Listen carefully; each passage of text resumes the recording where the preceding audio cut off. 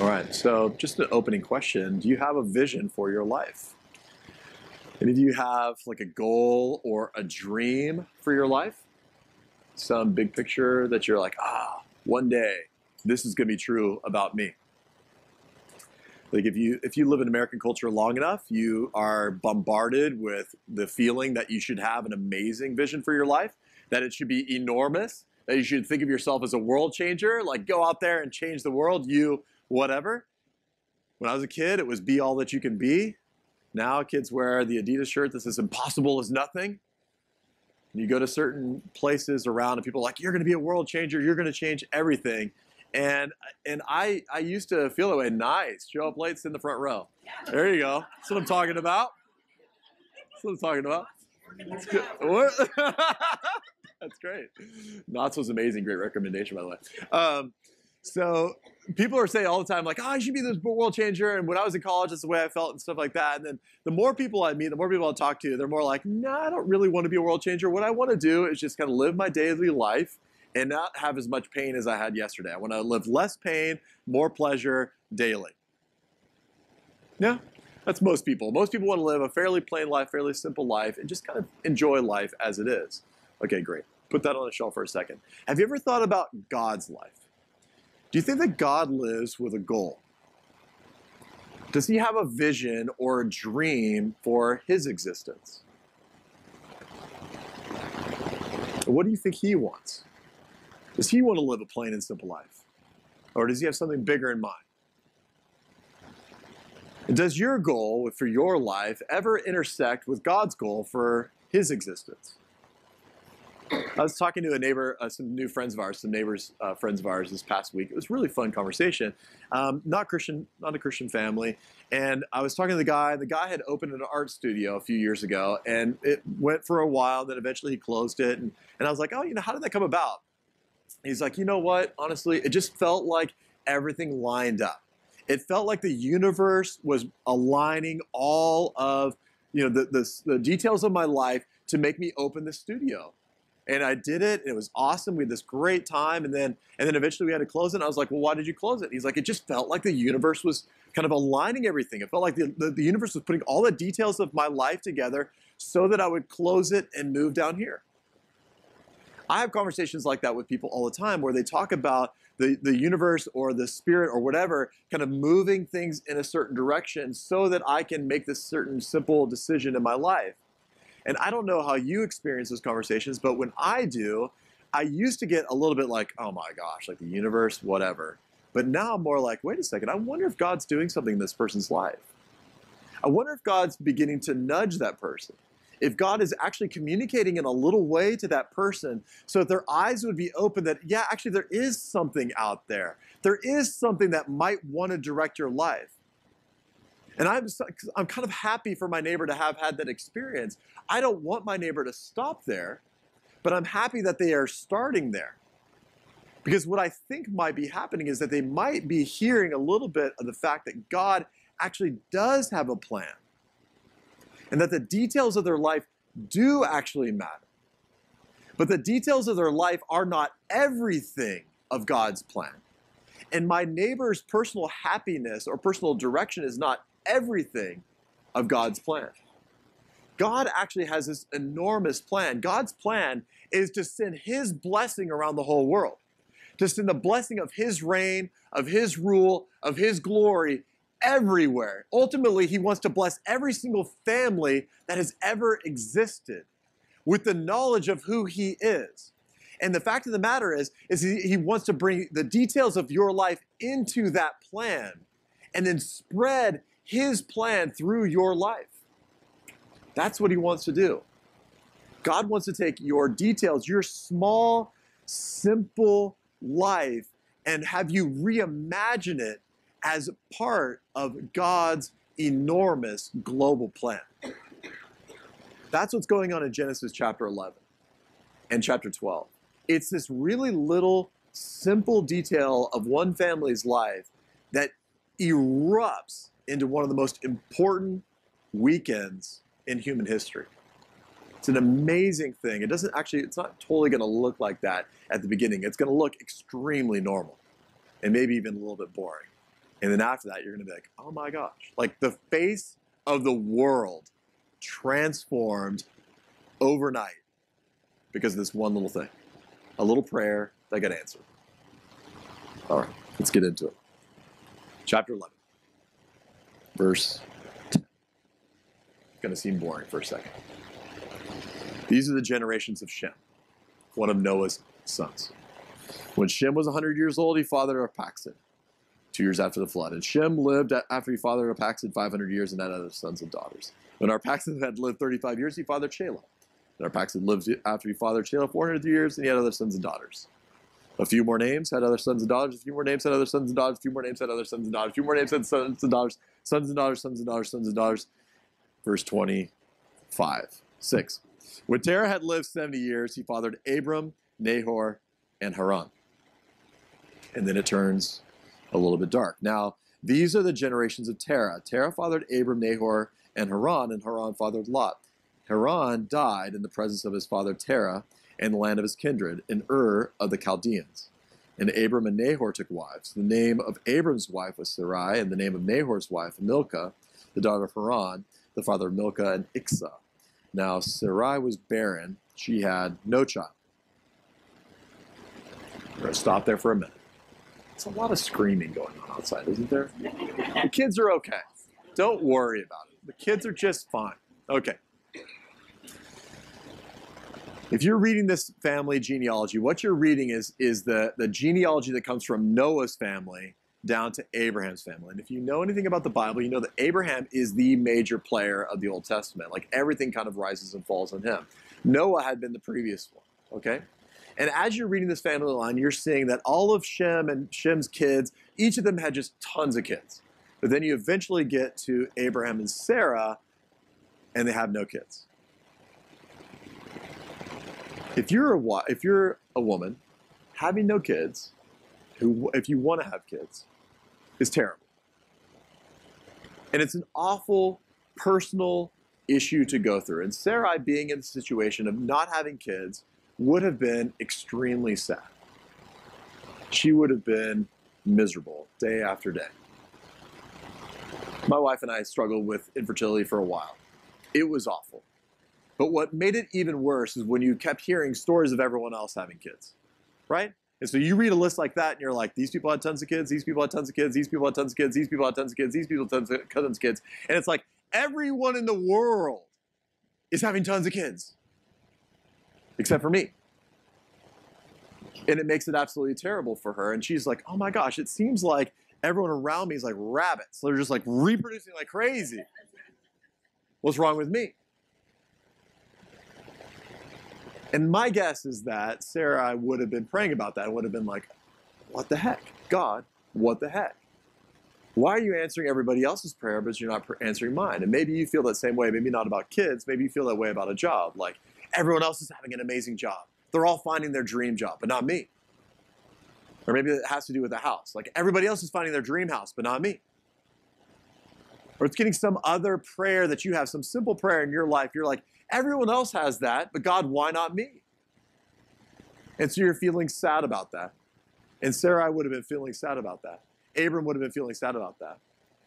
And they're in their 60s and probably feeling a bit hopeless about that. And it stinks. So it goes on.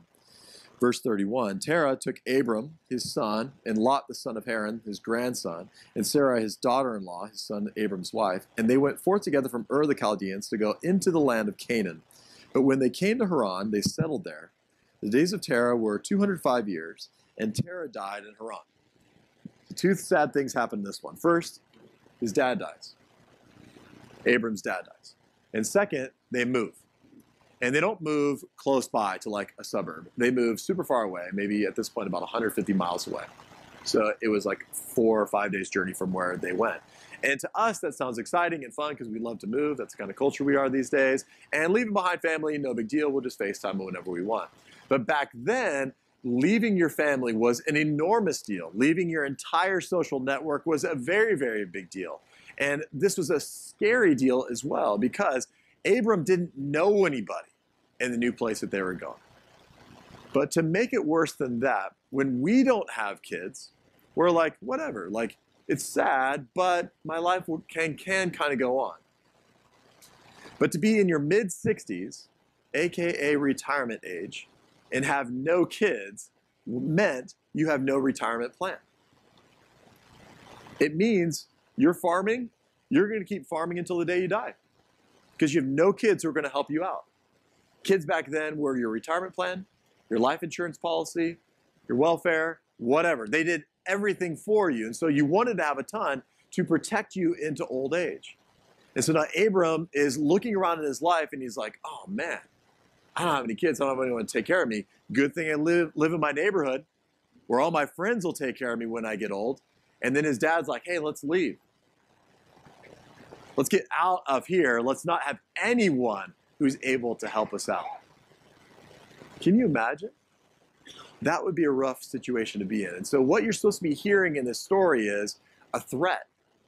It's a threat to the future of God's plan going on.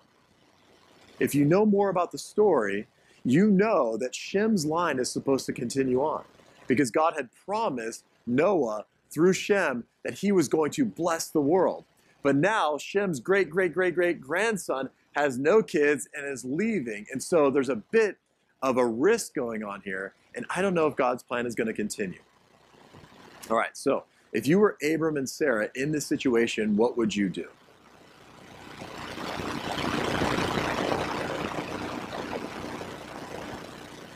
Yes. That's the one thing you should be doing, right? You should be praying. Now, here's the funny thing about Abram and Sarai. Where did they live? They lived in Ur of the Chaldeans.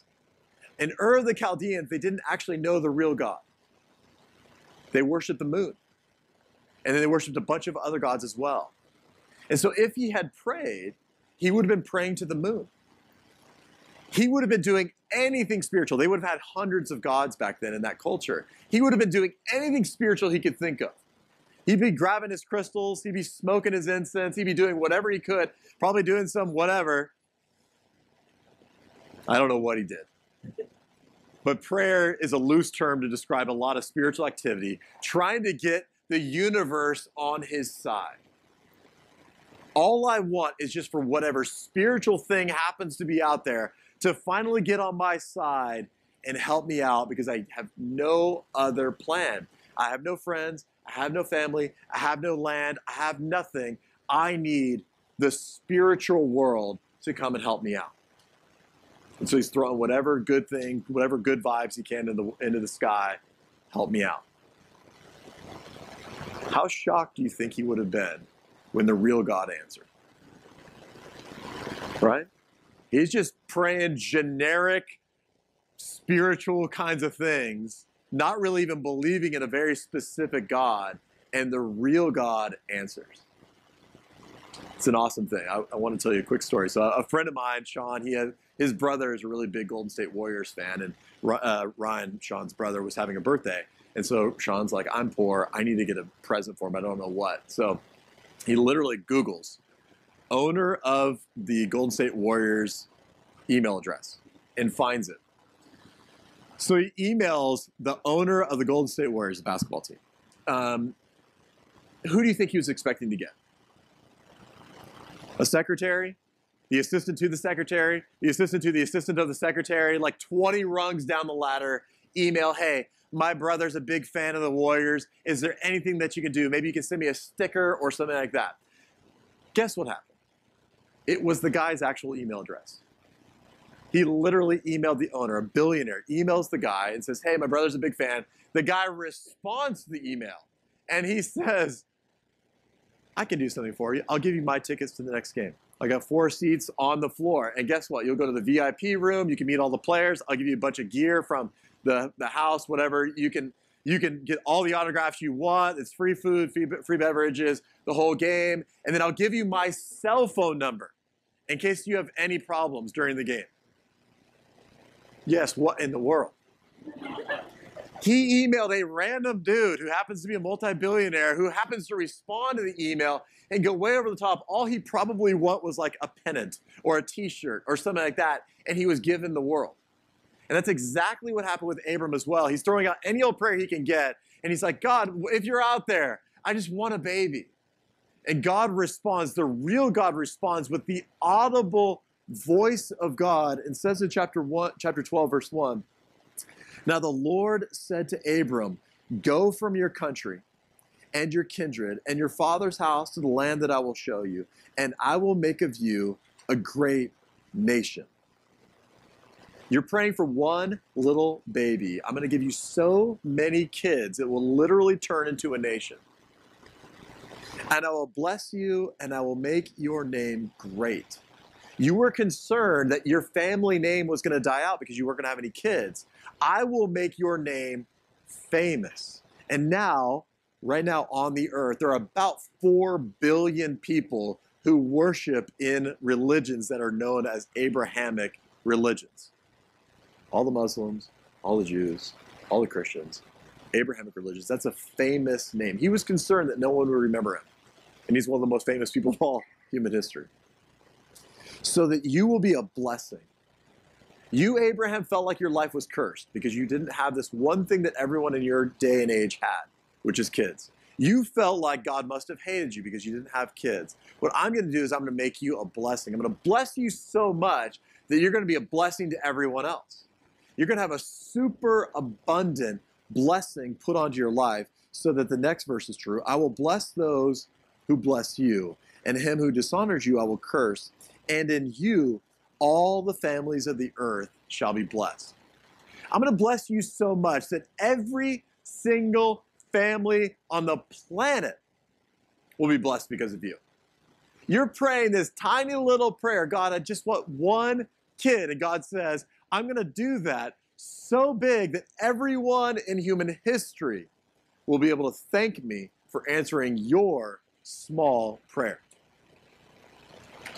That's incredible. The real God sometimes answers our little tiny prayers with catastrophically huge, galactically enormous answers. But at the time that Abraham received that, he probably would not have known how big it was. He probably heard God say some stuff and he's like, I don't get what you're saying, but thank you for the baby. That'll be great. right? Just enormous pro- a promise that God was making to Abraham. What's the what's a little prayer that you're praying right now? What's a little thing that you think, actually, yeah, if I could just get that, oh God, I would just love that little thing. It's possible that God's going to say, hey, your simple life that you're trying to live, I'm going to turn it into something that is going to revolutionize the world, and it's going to be amazing. So it's true that this actually happened. So Abraham lives for a little while. He has a son. He lives for another 25 years. He has a son named Isaac. Isaac has a son whose name is Jacob. Jacob's name gets changed into Israel. So now we have the nation of Israel being given birth to, right? Through Abraham's family line. Israel ultimately gets led by a guy named Moses, who most of us would know Moses' name. Moses gets the law of God, the Ten Commandments, things like that. It's a big deal. They start to grow into the millions now. This one family of Abraham turns into millions. That's pretty awesome. But as it turns out, the family of Israel, they kept living, kept living, kept living, but they weren't really going to follow God during that time. And so they actually lived under a curse. For the majority of their existence, the people of Israel lived under God's curse because they rejected him so much. And then that summarizes the whole Old Testament. You're welcome. It was a quick summary.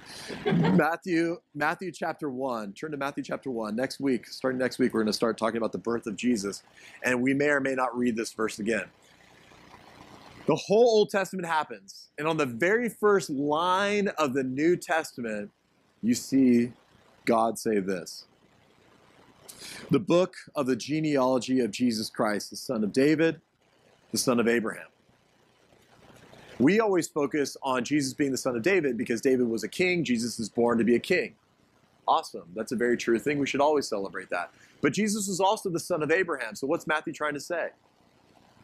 He's trying to say that finally the promise that God had made to the people, uh, to sorry, finally the promise that God had made to Abraham and Sarai is fulfilled in Jesus. All the families of the earth will be blessed everything that God had wanted for Abraham and Sarah was going to take 2,000 or more years to actually happen. but now everyone's going to be blessed. Everyone had been living under a curse, but Jesus is going to bring the blessing that the world needs. If you would look at Galatians chapter 3, we're going to look there really quickly. The first thing that Jesus had to do before he could bring the blessing that was going to revolutionize the world is he had to deal with the curse that we all live under. And so you know that Jesus lived his life. If you look at Galatians chapter 3, Jesus lived his life. He blessed people, he loved people, things like that. But ultimately, Jesus was killed. And he, but it's a weird thing. Why was Jesus killed? He was killed to destroy the curse that everyone in the world was living under. If you look in Galatians chapter 3 verse 10, this is why everyone was cursed. For all who rely on works of the law are under a curse. So everyone who tries to be a good person is under a curse. Why are they under a curse? For it is written, Cursed is everyone who does not abide by all things written in the book of the law to do them. If you try to be a good person, you're under a curse because you can't do it. And if you can't do it, you're living in opposition to God. And if you're living in opposition to God, then you're under a curse. Does God want you to be under a curse? Have you ever felt like you were under a curse? He doesn't want you to be. So God does an amazing thing in verse 13. Christ redeemed us from the curse. He pulls you out from under that and puts you into his blessing. Christ redeemed us from the curse of the law by becoming a curse for us.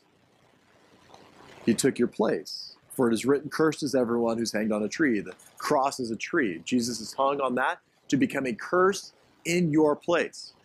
It's, it's like this Jesus looks at your life and he's like, I know where that's headed. That's headed towards death. That living that way is going to ruin your life. That living that way is going to kill you. If you keep doing what you're doing, it's going to kill you. If you keep living a lie, it's going to kill you. If you keep living angry at everyone all the time, that's going to kill you. If you keep living hypocrisy, that's going to kill you. If you keep living addicted to whatever, it's going to kill you. I don't want you to die. I'm going to see the end of your life and stand in that place of death instead of you. I'm going to cut to the chase. I'm going to get to the end of your life and die instead of you. The life that you were living was a curse, and I'm going to become that curse for you so that you don't have to get cursed. And then he goes on to finish it verse 14, so that in Christ Jesus the blessing of Abraham might come to the Gentiles, that's us, so that we might receive the promised Spirit through faith. Jesus stands in your place to receive your curse instead of you, and then in exchange gives you his blessing. The blessing that God promised to Abraham now comes to you. The God God's desire was to bring his blessing throughout the entire world. But we were living under a curse. And so he sucks the curse away from you, pulls it away from you, and then in exchange gives you his blessing. That's an amazing gift, isn't it? Beautiful. So then, if you were to go back to Matthew, you don't have to always turn with me, but you can. Matthew, the very last paragraph of Matthew, I'm summarizing an entire book for you now. Matthew 28, some of you know this one. The very last paragraph of Matthew ends like this Now the 11 disciples went to Galilee. This is after Jesus has risen from the dead. So he's been crucified, killed, received the curse, taken the curse upon himself, destroyed the curse in his own death. Now he's risen from the dead. He's come back to life. He's been exalted to the Father's right hand. And he says, The 11 disciples went to Galilee to the mountain to which Jesus had directed them. And when they saw him, they worshiped him. Some doubted. Jesus came and said to them, All authority in heaven and on earth has been given to me. Go therefore and make disciples of all nations, baptizing them in the name of the Father, and of the Son, and of the Holy Spirit, teaching them to observe all that I've commanded you. Behold, I'm with you always to the end of the age. Jesus now has resurrected authority. He says, I'm in charge of the whole earth. I'm in charge of everything. I am the real God. Worshiping me is a, is a good thing to do because I am the real God. I have all this authority, and now I'm going to be with you so that you would spread throughout the whole globe. And what are you supposed to bring with you when you spread? The message of who Jesus is. Because when you bring that message of who Jesus is and the power of who Jesus is, you're bringing with you the blessing of God. So that wherever you go, whatever family you happen to talk to, the promise that God made to Abraham can now finally come to that family as well. Because that promise was fulfilled in Jesus, and it was meant to go through you to those families. Abraham and Sarai prayed a little tiny prayer for one baby. And now there are about a billion Christians. They were praying for one little baby who would speak the same language that they speak, which who knows what language they spoke. But now there's a billion Christians who speak thousands of languages, all praising God. They're praying for one baby who would look just like them. And now there are billions of the children of Abraham, so to speak, looking very different from Abraham. I know I look different. So do you. God fulfilled this amazingly small prayer with an amazingly big answer. Okay, I'm to tell you a couple stories. You're probably praying something small right now. I don't know what it is. Relatively small. You're praying something small. Maybe you're praying for a kid. That could be your thing. You're praying just the same thing as Abraham and Sarah, or, or maybe you're praying for a job, or you're praying for or to move, or I don't know what you're praying for. So I thought I'd a couple stories there was this lady named Amy. So Amy, uh, from a young age, was really, really good with kids, and people would always comment to her like, "You're so good with kids. Like it's gonna be amazing when you're a mom. Like you're gonna be the best mom ever." And her mom felt the same way. And her mom was like, "I'm gonna pray for you to get married because the best thing in the world for you would be to have kids." And Amy, from a little age, was just like, "I don't think I'm gonna be a mom in that way. I feel called to help orphans." And so her mom kept saying, no, no, no, no, have babies. And she's like, no, I want to help orphans. No, have babies. And I want to help orphans. Long story short, she ends up moving to India. She ends up loving a bunch of kids there. She ends up opening up an orphanage there. And then she leads like thousands of kids to the Lord. Never gets married, never has kids of her own. Her mom was praying a very small prayer I want you to get married and have a baby because I want a little grandbaby who looks just like me. But God answered that prayer with something much bigger, which is that you are going to be the mother to thousands of people. Amy Carmichael, you've ever heard of her before? That's what I'm talking about. Yeah. It's an amazing thing. Sometimes we want God's answer to the prayer to be just the way we're imagining it happening. But God is saying, no, I've got something much bigger in mind. It's going to be different, but it's going to be incredible for you. What's happening in Abraham and Sarah's life is that their little prayer is intersecting with the big vision of God. And the same thing happened in Amy's life, where her mom's little prayer intersects with God's big vision because he wanted to save a bunch more people in India. Let me tell you another story. There was a guy named Dwight. And Dwight, not from the office, there wasn't one other Dwight who's lived. Okay, false. Exactly. There was one other Dwight in human history but Dwight was like a casual church going guy, kind of vaguely believed in God, and, and he needed a job. So he prays for a job. And God gives him a job working in a shoe store, which is awesome. So he's working at the shoe store. I think he's like 19 years old at the time. When he's working, selling shoes, doing inventory, whatever, some dude comes in named Ed. Ed has a very plain job. Ed felt like God was like kind of leading him to share his faith a little bit more boldly. So Ed walks in, buying some shoes, and just says to Dwight, Hey, you need to know the gospel of Jesus. So he shares the gospel of Jesus with Dwight. Dwight's like, I feel like I've never heard that before. I'm in. So he starts believing in Jesus. Dwight ends up becoming this massive evangelist named Dwight Moody. There's a school named after him. And he leads thousands of people to the Lord, which is phenomenal. He leads one dude to the Lord named Billy Sunday. And Billy Sunday becomes a massive evangelist as well. He leads tens of thousands of people to the Lord. Billy Sunday, long story short, leads a guy named Billy Graham to the Lord, who maybe you've heard of him before. He's led millions of people to the Lord. Dwight just wanted a job. All he wanted was a job, and God gave him a little minimum wage job. And as a result of that one little prayer, millions of people around the world now trust Jesus. And I don't re- I don't know what you're praying right now. But chances are the little prayer that you have may feel like a very plain life for you even when God answers it. But God may be giving you that answer so that his global desire to spread his blessing around the world could extend.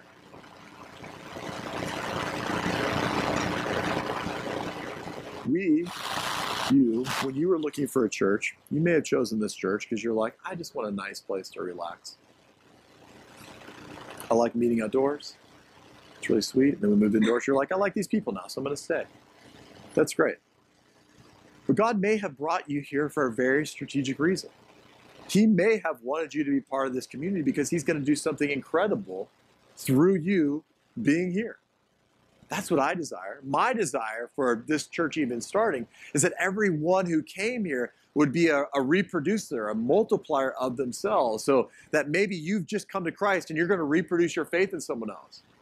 Or maybe you lead some ministry, you're going to reproduce yourself into someone. Or maybe you have some special skill and you're going to reproduce yourself in someone. We as a, as a church don't desire to become some massive thing.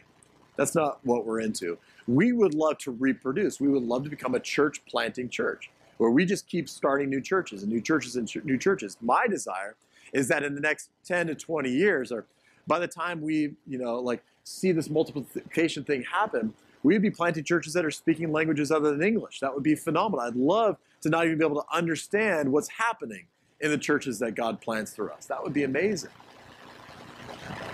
And God may have brought you here for that very reason, is that He wants you to be part of what the next thing is that God does.